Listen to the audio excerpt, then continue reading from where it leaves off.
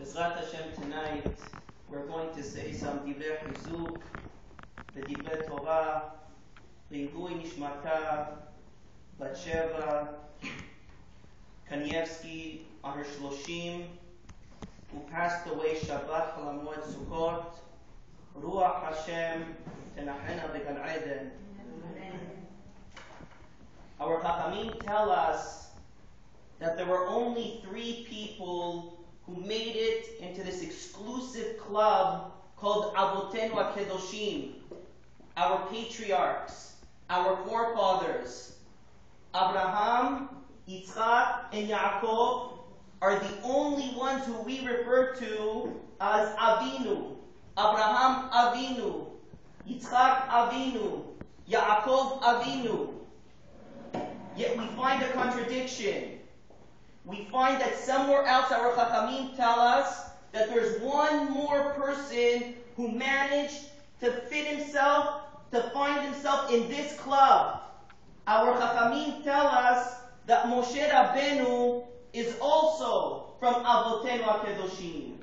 He's also from the patriarchs, from the forefathers. Perhaps we can answer, we can understand this contradiction through a Gemara in Baba Metziah. The Gemara says that a student, a son, he has the obligation to respect his rabbi, the Chacham, more than his father. The Gemara explains that it's his father who brings him into the world, but it's the Chacham, it's the rabbi who teaches him that brings him into Olam Haba. Therefore, it's the rabbi who deserves more respect than the father. Abraham, Yitzchak, and Yaakov are our physical forefathers. Abraham Avinu, Yitzchak Avinu, Yaakov Avinu. But Moshe, he's our spiritual forefather.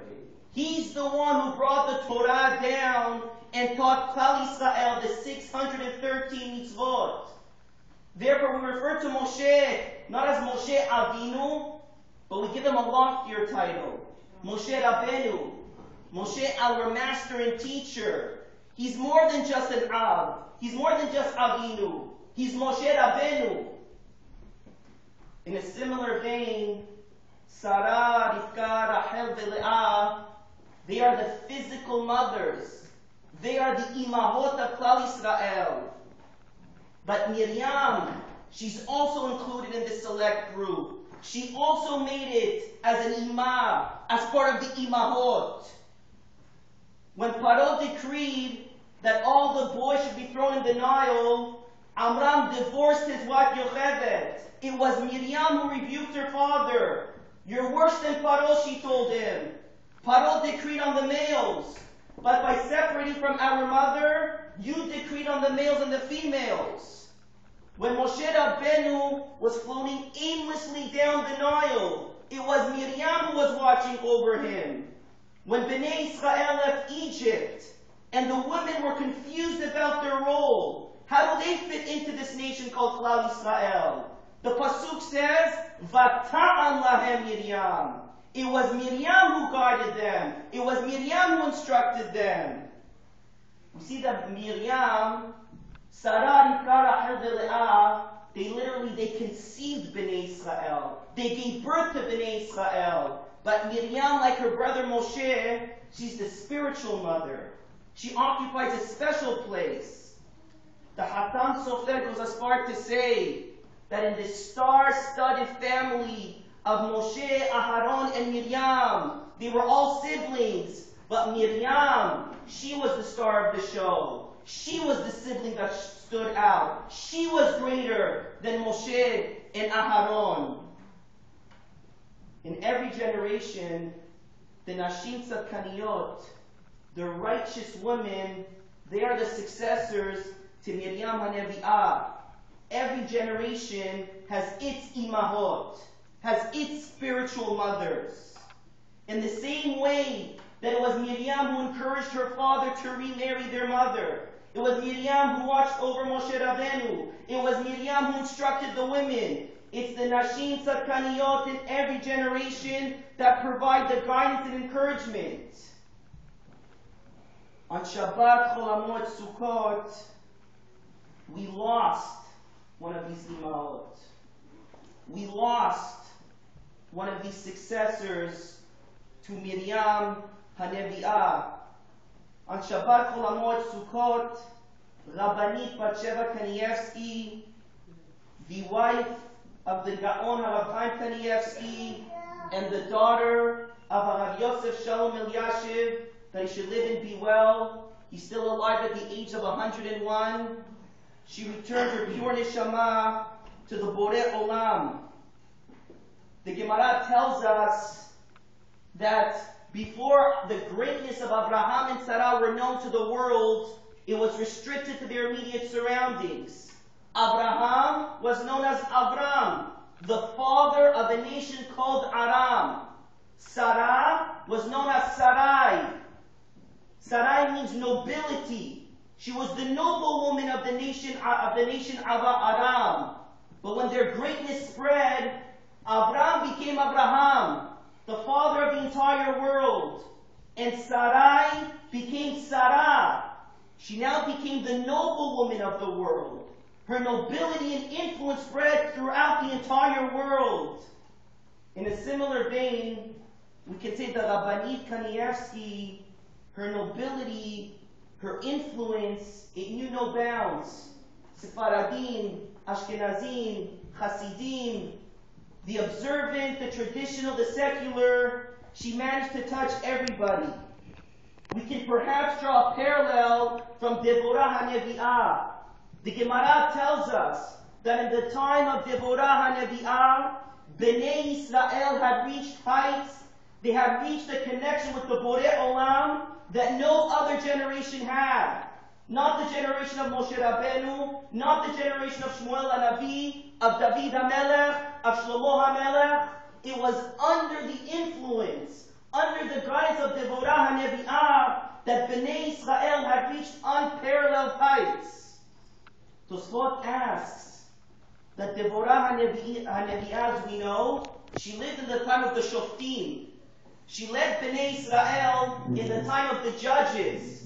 Tosfot asks simply, we know that a woman, she's not allowed to sit on a beit din. She's not allowed to judge. She can't be a dayan. How could Deborah HaNevi'ah have led Bnei Israel in the time of the shoftim, of the judges? She wasn't allowed to judge the nation. Tosfot answers, she didn't judge the nation. She taught the people. She taught the men how to judge the nation.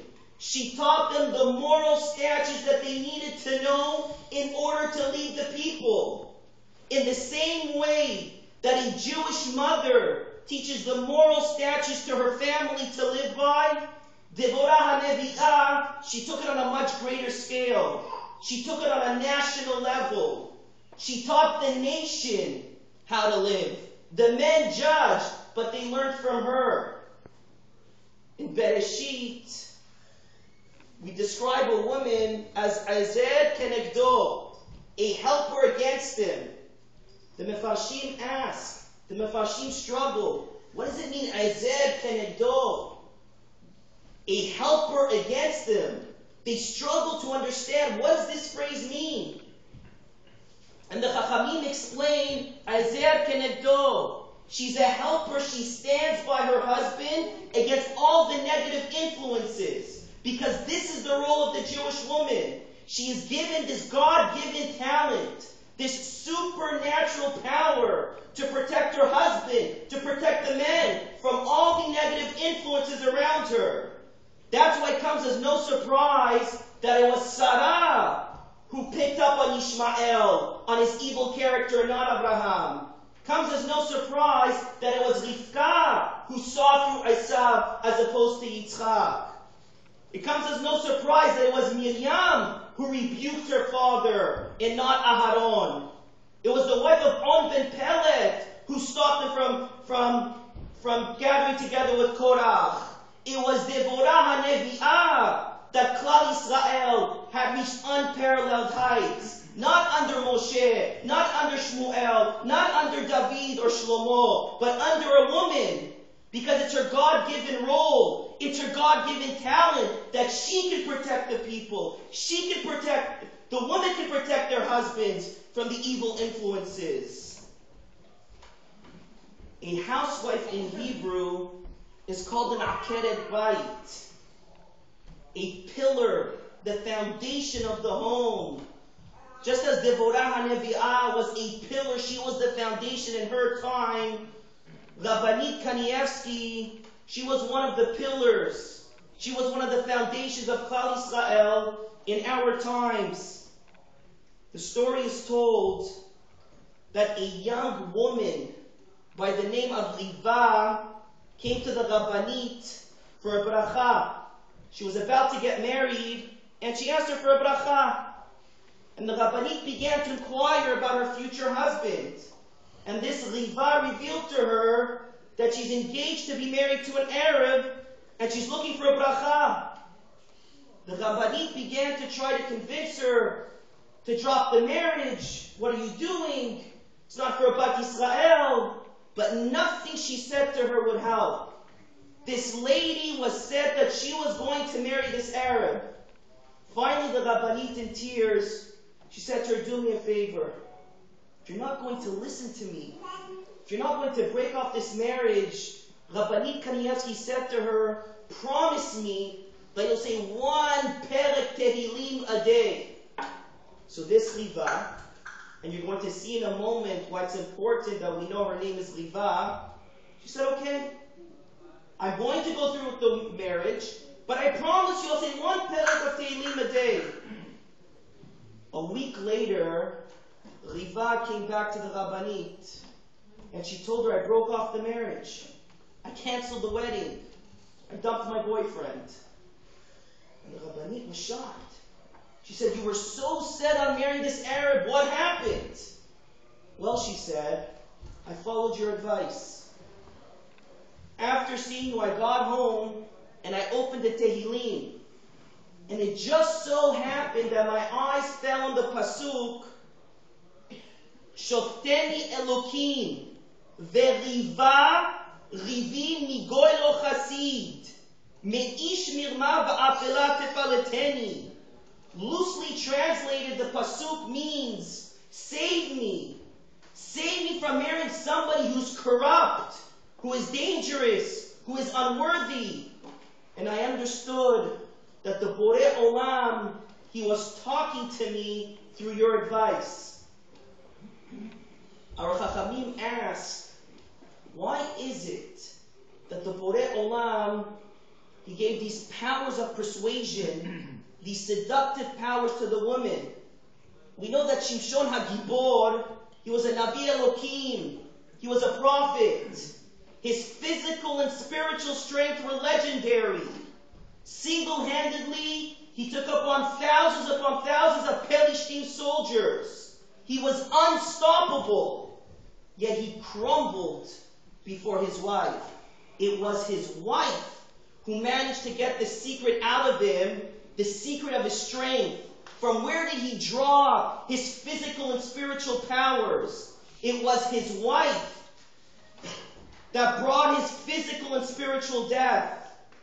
The Gemara in Berachot goes as far to say that the seductive powers of a woman are so powerful that a man may not even hear a woman sing. Other than his wife, a man may not hear Kol Isha, the voice of a woman in song. Why is it? Why is it that the Borei Olam gave them this power? And our Chachamim answer, because it is this power, it is this Koach that can build Klal Israel. It is this Koach that can build a man or destroy a man. The Midrash says, when Moshe Rabbeinu came to build the Kiyor, the wash basin in the Mishkan, the woman came to offer their mirrors, their brass mirrors, in order to be melted down to build the kiyor. Moshe Rabbeinu was very hesitant to accept such a donation. How could he accept, so to speak, a tool of the Yetzer Hara? How could he, how could he accept something that the women used to beautify themselves for the Mishkan? And just as he was about to refuse the woman, the Borei Olam came to him He says, It's these donations that I want. This is the most precious donation that anyone can bring. Dafka, these mirrors I want you to build a kiyor with. When Bnei Israel were enslaved in the desert, as we know, the men were enslaved under the torturous labor of the Egyptians. When they came home at night, they came home more dead than alive. They were unable to perform their duties as husbands. There was a very real danger that Klal Israel would become extinct. So what did the women do? They went to these very mirrors. They beautified themselves. They made themselves attractive to their husband in order to ensure that Klal Israel would continue. It is this donation that the Borei Olam is looking for. When they use their kochot for this, this is what the Borei Olam wants in the Bet HaMikdash. The Midrash continues to explain, because of their great devotion, that Klal Yisrael should continue, even under the Egyptian slavery, even under the Gezerah of Paro, that the children, that the male boy should be thrown in the Nile, the Borei Olam performed an incredible chain of miracles. When the woman would come to term, they would go out to the fields to hide from the Egyptians and they would give birth.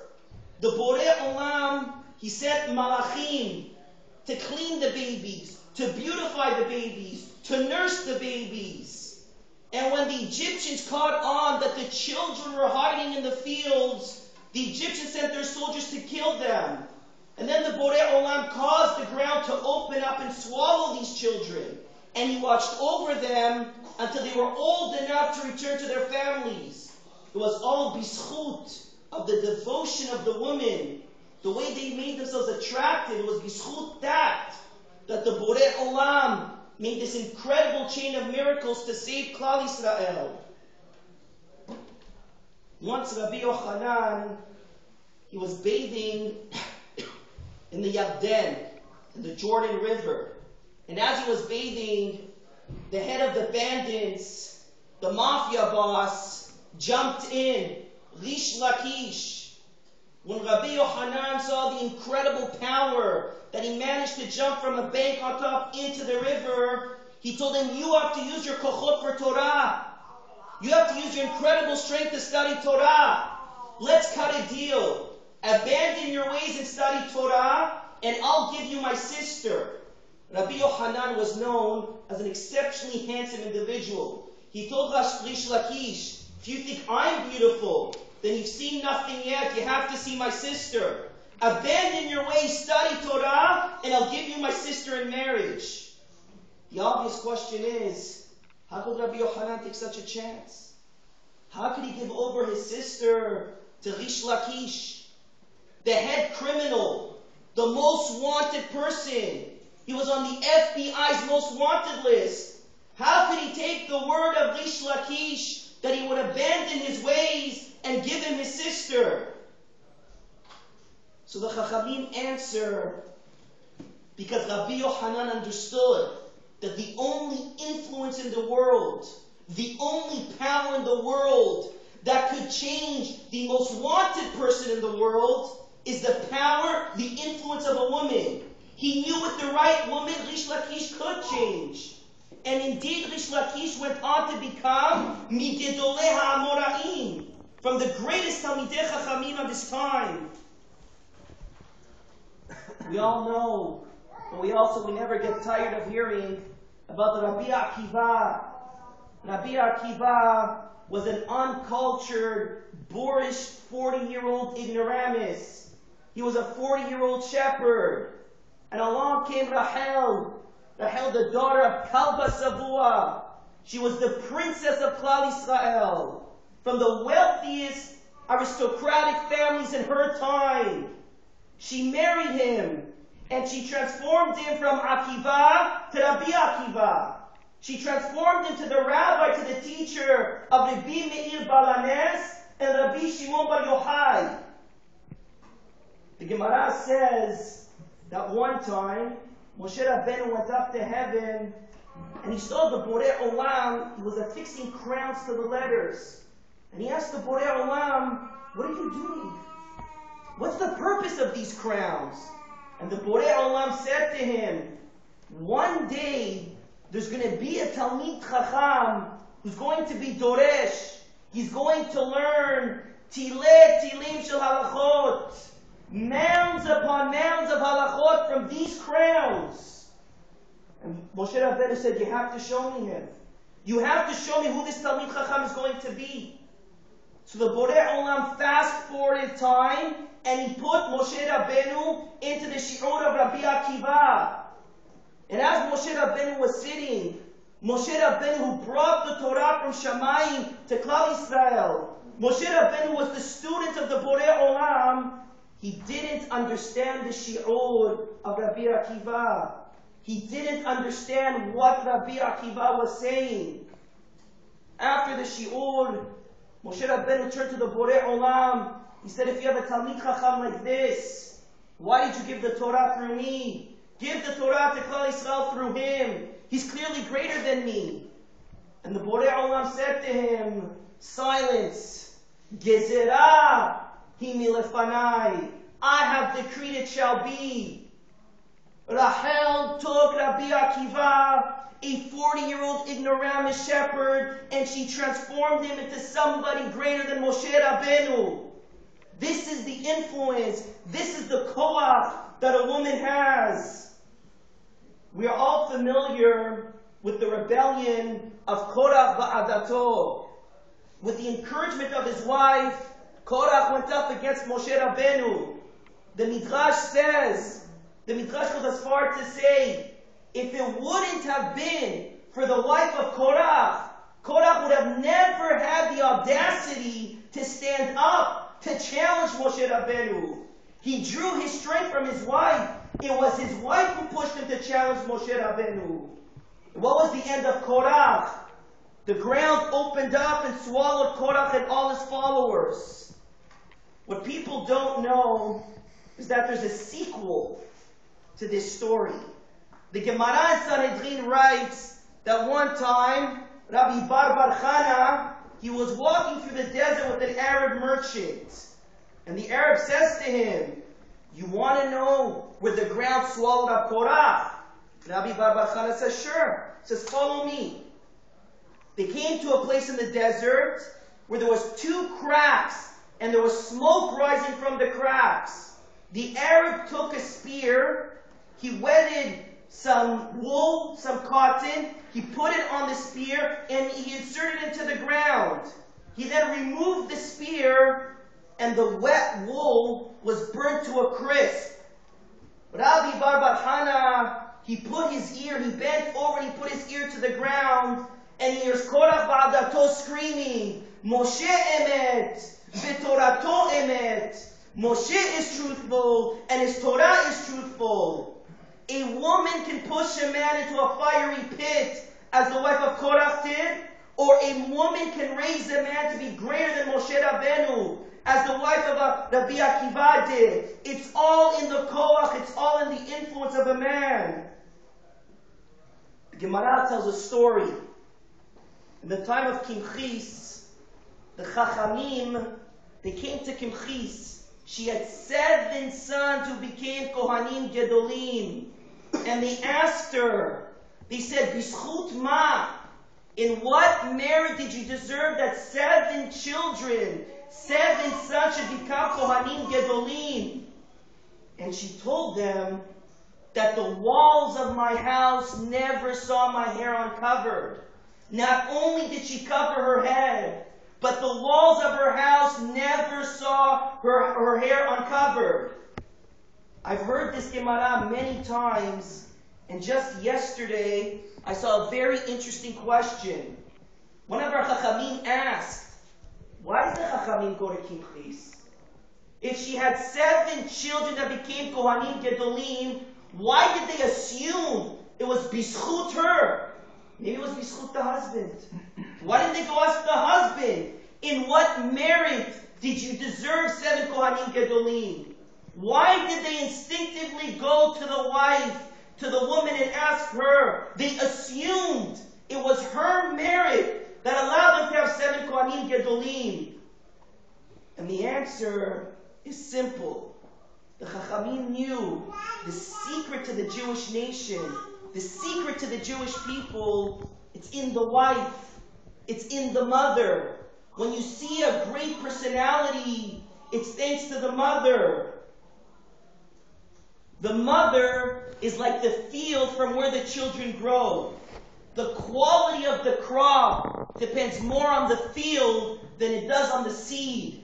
And therefore they knew that the zechut of these children becoming Kohanim Gedolim, it lay with the mother. So they went and they asked the mother instead of asking the father. It's interesting to note that when the Borei Olam gave the Torah to Klal Israel, he first went to the women and then he went to the men. What does the pasuk say? The pasuk says, "Ko tomar lebet Yaakov v'taged v'taged lebnei Israel." Ko tomar lebet Yaakov. So shall you tell the house of Yaakov. Who's the house of Yaakov? It's the women. And then afterwards, v'taged lebnei Israel. And then you will speak it to the men. Whose responsibility? Whose chiyuv? Whose obligation is it to study Torah? It's the men. Why does the pasuk says Ko Tomar Lebet Yaakov? The Borei Olam tells Moshe Rabbeinu, first go to the woman, then go to the men. Well, who studies the Torah? Who do we send to the Talmud Torah, to the yeshiva, to the Bet Midrash, to the Kollel? Why is he going to the woman? Why not go to the men? Because ultimately, it's the women who guard. It's the women who ensure that the men will learn. It's the women who protect the families. It's the woman who influence the husband and the children. Go to Lebet Yaakov. First go to the woman. Go to the ones who are going to be, who have the influence. Who have, as they say in Yiddish, the protexia. And then you go to the men.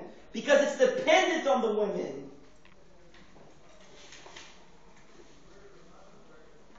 Rabbanit Kanievsky, she was simply known as the Rabbanit. When you said the Rabbanit in Eretz Israel, you knew you were referring to Rabbanit Kanievsky. Perhaps the greatest testimony to her greatness is that in these three, four weeks since she has passed away, directors of institutions, organizations, schools, and seminary have descended in droves down to Rav Chaim Kanievsky. Why are they all coming? Why are these directors and these principals and these heads of all these organizations coming to Rav Chaim Kanievsky? Because they've all decided, each one on his own, to rename their institution in her name.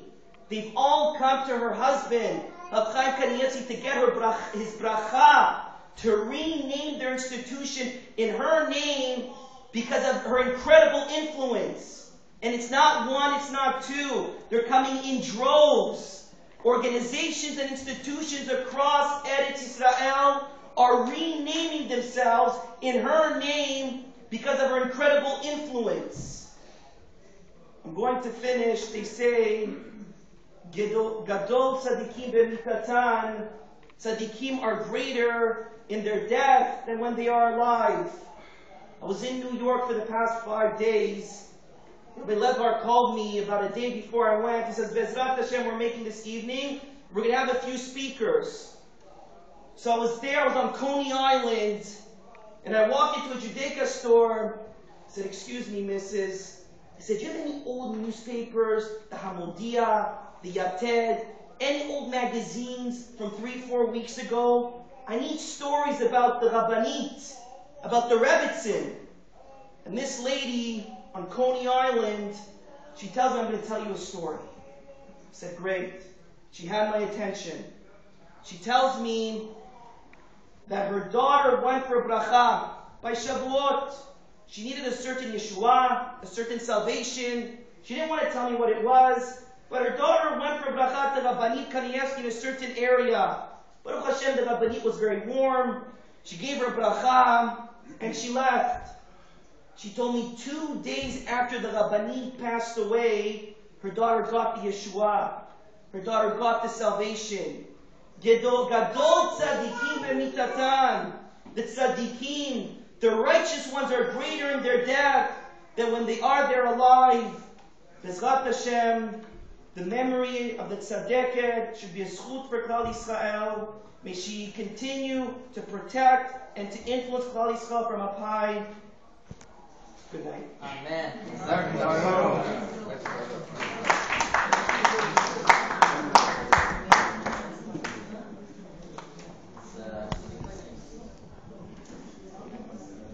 you very much, Rabbi